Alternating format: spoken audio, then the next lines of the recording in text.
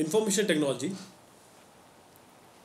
Information technology में बहुत सारी चीज़ें निहित है, जिसमें सबसे इम्पोर्टेंट चीज़ है इंफॉर्मेशन इंफॉर्मेशन की बात करेंगे हम, और देखेंगे डेटा और इन्फॉर्मेशन में क्या अंतर है।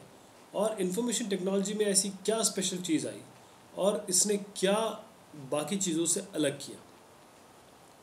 इंफॉर्मेशन टेक्नोलॉजी में क्रिएशन स्टोरेज और डिस्पर्सन यानी कि बनाना रखना और इसका उपयोग करना डेटा और इन्फॉर्मेशन का, दोनों का। डेटा भी हो सकता है, वो इन्फॉर्मेशन भी हो सकता है। और इस इंफॉर्मेशन टेक्नोलॉजी के तीन मेन कंपोनेंट्स हैं कंप्यूटर कम्युनिकेशन यानी कि बातचीत और उसके माध्यम, और साथ में समझदारी नो हाउ डेटा क्या है? डेटा बेसिकली क्या है, जो जो प्रोसेस न हुआ हो। जैसे अगर कोई डिटेल आती है और कोई फिगर आते हैं, कोई नंबर्स आते हैं तो उन्हें डेटा कहते हैं। लेकिन अगर वो फिगर नंबर को बहुत ऑर्गेनाइज तरीके से मीनिंगफुल तरीके से आप बना दें, या किसी चीज़ में उपयोग करने के लिए बना दें, उसे हम इंफॉर्मेशन कहते हैं। और नॉलेज क्या है? ये आपकी अंडरस्टैंडिंग है और उस अवेयरनेस है उस इंफॉर्मेशन के बारे में। ताकि जो इन्फॉर्मेशन आपने डेटा से बनाई है, उसका आप भली भांति उपयोग कर सकें किसी की भलाई में। तो इंफॉर्मेशन टेक्नोलॉजी में क्या आता है? जैसे हमने अभी बात की कंप्यूटर्स कम्युनिकेशन और नो हाउ इन तीनों को जोड़ दिया जाए तो इंफॉर्मेशन टेक्नोलॉजी जो है वो बन जाती है। ये फोर्सेस हैं इंफॉर्मेशन टेक्नोलॉजी के कंप्यूटर कम्युनिकेशन और नो हाउ यानी अंडरस्टैंडिंग तो कंप्यूटर की बात करते हैं कंप्यूटर क्या है? कंप्यूटर जो है वो इलेक्ट्रॉनिक सिस्टम है, जिसमें आप इंस्ट्रक्शन दे सकते हैं रख सकते हैं और उसे रिट्रीव कर सकते हैं। कंप्यूटर जो है वो छोटे से लेकर बड़े तक होते हैं। आज तक आजकल तो बहुत मिनीचर आ गए हैं। तो microcomputer mid range computer mainframe और सुपर कंप्यूटर ये चार श्रेणी के मेनली कंप्यूटर होते हैं। जो माइक्रो कंप्यूटर है, वो सबसे छोटे होते हैं। जो आप, जिनको इजीली मैनेज कर सकते हैं हैंडल कर सकते हैं और जिनकी जो प्रोसेसिंग पावर है वो मॉडरेट होती है। जैसे कि desktop computer notebook laptop tablet PC personal digital assistant यानी कि पीडीएस और पाम टॉप्स फिर मिड रेंज की बात करते हैं। मिड रेंज में क्या है कि ये सुपर कंप्यूटर और मिनी इसके बीच में जो हमने अभी डिस्कस किया उसके बीच में होता है। और उनकी प्रोसेसिंग पावर भी इन दोनों के बीच में ही आती है। और अगर हम सुपर कंप्यूटर की बात करते हैं तो जो बड़े बड़े डिफ़िकल्ट कैलकुलेशन होते हैं, वो इस पर किए जाते हैं।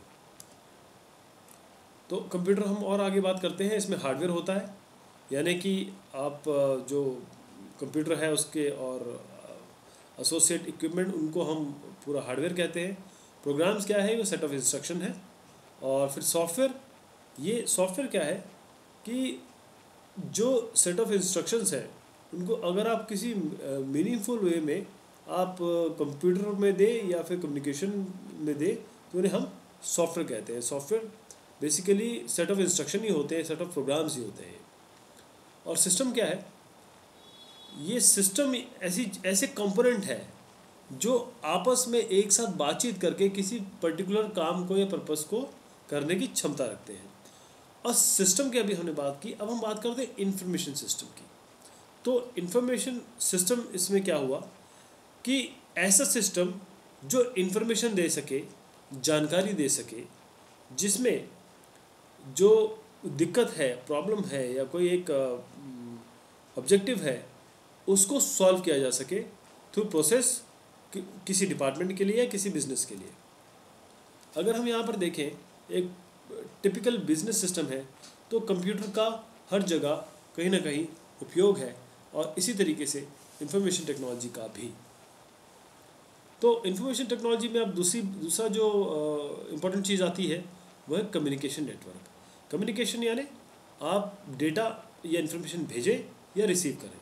और कंप्यूटर कंप्यूटेशन या कम्युनिकेशन नेटवर्क में क्या आता है?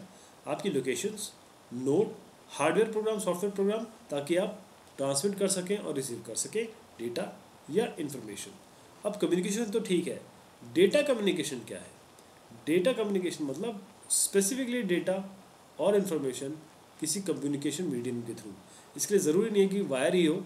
ये वायर के अलावा भी, यानी कि जिसे हम वायरलेस कहते हैं, उसमें भी यही डेटा कम्युनिकेशन कहलाएगा वो। तो अल्टीमेटली क्या चीज़ है इंफॉर्मेशन टेक्नोलॉजी की कि आप कुछ स्पेशल करें, कुछ अलग करें फास्ट करें और ज़्यादा लोगों तक वो चीज़ पहुँचे। तो आपका नो हाउ क्या है इसमें? जो तीसरी चीज़ हमने बात की थी। नो हाउ मतलब आप फेमिलियर हो, आप आईटी के टूल्स के बारे में जाने, जिसमें इंटरनेट भी है। और आपके पास वो स्किल हो, जिससे आप इन टूल्स को यूज़ कर सकें। और कि कोई प्रॉब्लम या कोई दिक्कत को सॉल्व कर सके। तो जो छः फ़ंक्शंस हैं इंफॉर्मेशन टेक्नोलॉजी के, वो है कैप्चरिंग ट्रांसमिटिंग स्टोरिंग रिसीविंग रखना, ये जनरेट करना और साथ में फाइनली प्रोसेस करना।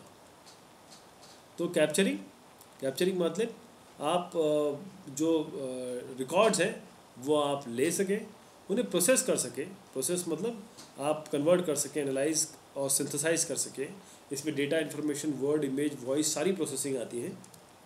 फिर जनरेशन अब आपके पास जो इन्फॉर्मेशन आ गई, उसको आप किसी यूज़फुल फॉर्म में प्रेजेंट कर सकें। ये ये कोई विजुअल इमेज भी हो सकती है, या फिर कोई प्रेजेंटेशन भी हो सकता है, इस तरीके से।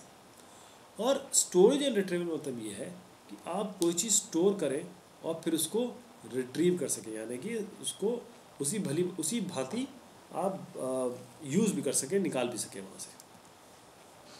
और ट्रांसमिशन की जहाँ बात आती है, वो है कि थ्रू ईमेल वॉइस मेल ये आपके ट्रांसमिशन की बात होती है।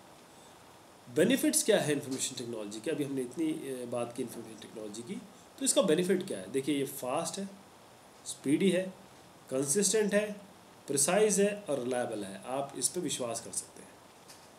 और आपका, इनके अगर हम प्रिंसिपल्स की बात कहें आईटी का प्रिंसिपल क्या है? तो लोगों की मदद है। और प्रॉब्लम सॉल्विंग है। बेसिकली जो भी दिक्कतें आए, उनको सॉल्व करना ये आपकी प्रिंसिपल ऑफ़ इंफॉर्मेशन टेक्नोलॉजी है। और इंफॉर्मेशन टेक्नोलॉजी हमारे आसपास हर जगह है। चाहे टेलीविज़न हो एजुकेशन हो ट्रेनिंग हो एंटरटेनमेंट हो शिपिंग हो, कोई पेपर वर्क हो, पैसा या इन्वेस्टमेंट हो एग्रीकल्चर या खेती हो, या टैक्सेशन अकाउंटिंग हो हेल्थ मेडिसिन हो मैन्युफैक्चरिंग हो, या जर्नलिज्म हो एनर्जी या स्पोर्ट ये सभी में आईटी आपको मिलेगी और साथ में रिस्पॉन्सिबिलिटी क्या है आईटी की, कि वो आपको इन्फॉर्म रखे, आप उसका प्रॉपर यूज़ हो आईटी का और आपकी चीज़ों को सेव गार्ड भी करें। शुक्रिया, बहुत शुक्रिया, जो सोर्स है, वो मैंने यहाँ से लिया है। धन्यवाद आप सभी लोगों का।